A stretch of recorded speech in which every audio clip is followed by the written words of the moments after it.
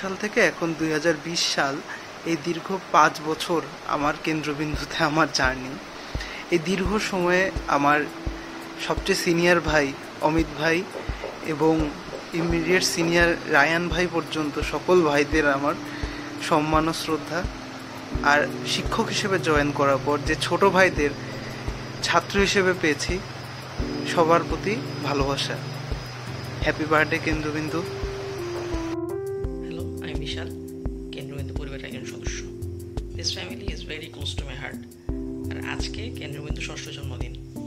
কেন্দ্রবিন্দুকে জানাচ্ছি জন্মদিনের শুভেচ্ছা হ্যাপি সিক্স বার্থডে আশা করছি অনেক দূরে এগিয়ে যাবে হ্যালো এভরিওয়ান আজ কেন্দ্রবিন্দুর ষষ্ঠ জন্মবার্ষিকী। সেই তৃতীয় বছর থেকে কেন্দ্রবিন্দুর সাথে আমার পথ চলা। এই এতদিনে ভাইয়াদের সাথে বা তোমাদের স্টুডেন্টদের যারা মেন্টর তাদের সাথে খুবই ক্লোজ একটা সম্পর্ক গড়ে উঠেছে। প্রত্যেকটা বছর অনেকগুলো অনুষ্ঠান হয়। আর অন্যতম একটা বড় অনুষ্ঠান থাকে আমাদের কেন্দ্রবিন্দুর জন্মবার্ষিকী পালন।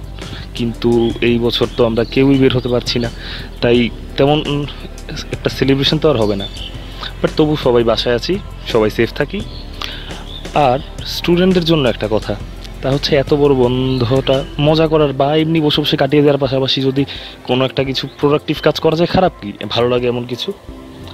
যদি আমরা কোনো একটা কিছুতে এফোর্ট দিই আর পরিশ্রম দিই, সেটা কখনোই ফেলনা যায় না।